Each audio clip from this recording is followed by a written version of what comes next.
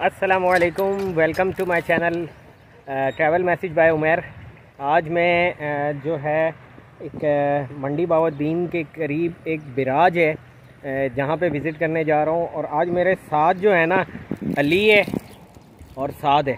दो बंदे हैं। सही है? तो अभी हमने स्टॉप किया है। तकरीबन हमने राइड की है अपनी बाइक पे एक घंटे के करीब। और एक घंटे बाद हमने स्टॉप लिया है एक ये नहर के किनारे।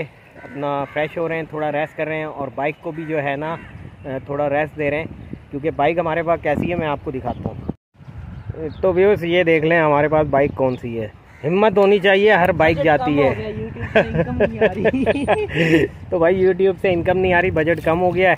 तो अब हम इस बाइक पे जो है ना ट्रैवल कर रहे हैं। हिम्मत होनी चाहिए बंदा ट्रैवल कर लेता है।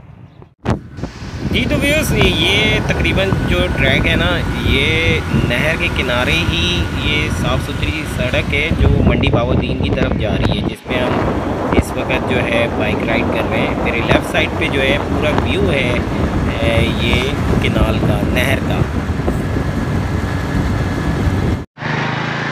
जी तो व्यूस हम लोग पहुँच चुके हैं बिराज, रसूल बिराज, और ये कुछ इस तरह का मंज़र है।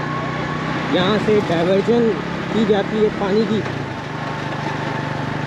इस तरह का जी तो व्यूज़ इस वक्त हम मौजूद हैं दरियाए जहलम के बिराज पर और ये आप मेरे पीछे बैक साइड पे देख सकते हैं जो आपका समझ लें ये पूरा यहाँ पे पानी की डाइवर्जन की जाती है।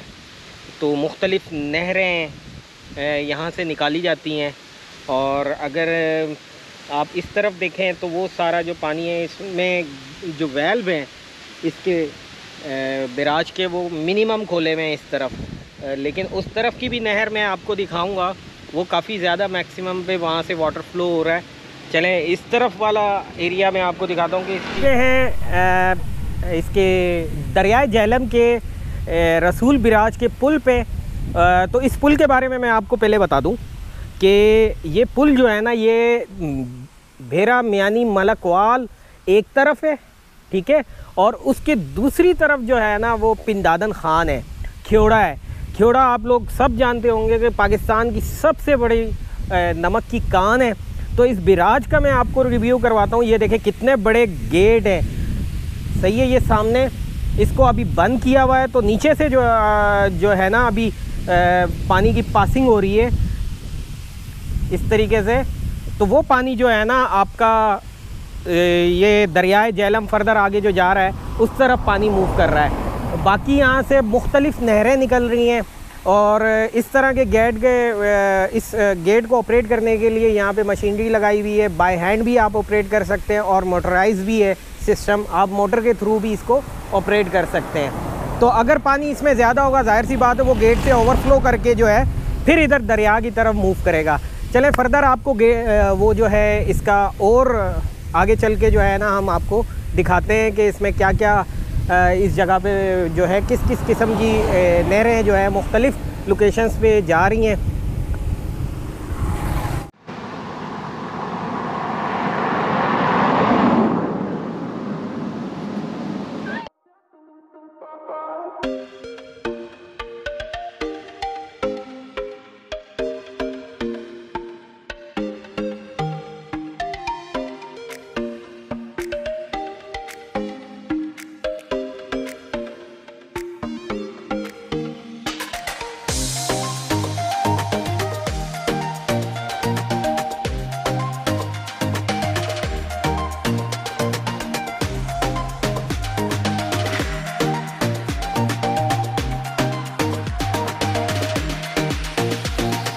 जी तो भैया, यहाँ पे व्यवस आपकी नॉलेज के लिए मैं एक बात शेयर कर दूँ कि ये जो दरियाए जहलम है, ठीक है, इसमें एक ये बिराज है, एक वो सामने बिराज है और एक ये बिराज है। यहाँ से तकरीबन तीन डाइवर्जन निकल रही हैं पानी की, ठीक है।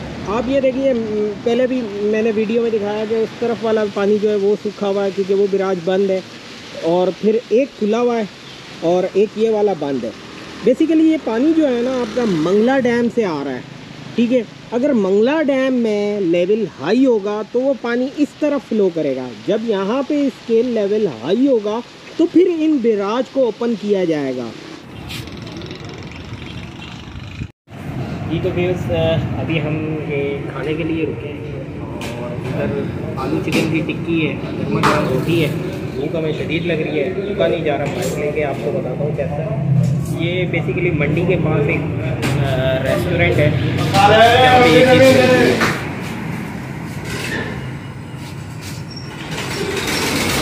नॉर्मल है।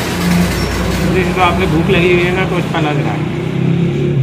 जी तो व्यूस काफ़ी रनिंग के बाद जो है अ, हमारी बाइक का जो लीवर है ना वो फ्री हो गया है क्योंकि मलकवाल से रसूल बिराज का सफ़र वन साइडेड सत्तावन किलोमीटर है।